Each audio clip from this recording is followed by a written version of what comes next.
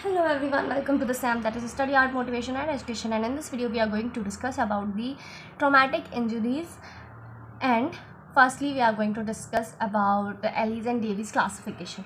It is the most most important classification in dentistry and ये question आपको endo में पूछा जा सकता है पीडो में पूछा जा सकता है आपको ओरल एंड मैक्सिलोफेशियल सर्जरी में पूछा जा सकता है आपको ओएमआर में पूछा जा जा सकता है ठीक है सो वेरी वेरी इंपॉर्टेंट चार सब्जेक्ट इसमें मिले हुए हैं। चार सब्जेक्ट में सेम क्वेश्चन आ सकता है।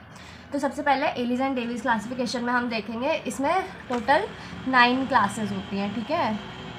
टोटल नाइन क्लासेस होती है। एलिज एंड डेविस ने दिया था ये। सो क्लास वन इज़ एक सिंपल सा फ्रैक्चर है, जिसमें क्राउन इन्वॉल्व है। इन्वॉल्विंग इनैमल ठीक है? छोटू सा फ्रैक्चर है। इनैमल इन्वॉल्व है, ठीक है? क्लास टू में क्या हो जाएगा? इनेमल एंड डेंटिन इन्वॉल्व है। पल्प एक्सपोजर अभी नहीं हुआ है। थर्ड में देखो पल्प भी एक्सपोज हो गया। तो extensive fracture of crown involving enamel dentin and pulp ना class four is divided into two parts class four is divided into two parts as in there is a traumatized tooth okay so traumatize tooth है, देखो यहाँ पे। यहाँ पे कुछ fracture हुआ है। ट्रोमेटाइज हो गया है and it becomes the non vital ठीक है? नॉन वाइटल बन गया है without the loss of crown structure crown का क्राउन स्ट्रक्चर लॉस नहीं हुआ है।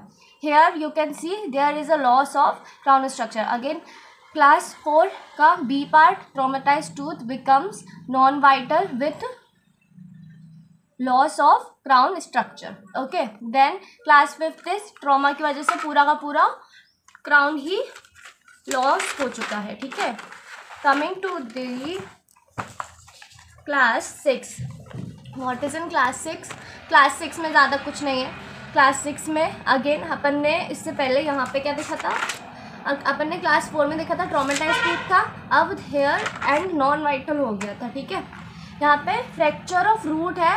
With with and without the loss of crown structure this is your class six class seven में देर इज़ नो फ्रैक्चर कोई fracture नहीं हुआ है, लेकिन ट्रॉमा की वजह से जो टूथ है आपका, वो डिस्प्लेस्ड हो गया है, ठीक है?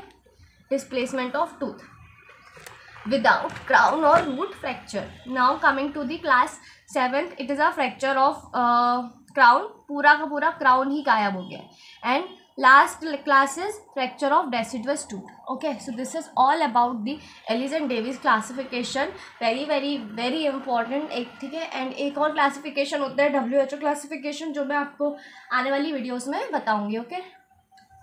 So this is all about it. Thank you so much for watching this video. If you like it then like it subscribe the channel. And yeah i hope this video helps you in your academics and if it does then i would be really really grateful. And thank you thank you so much for watching this video. And i'll see you on the next video. Don't forget to subscribe the channel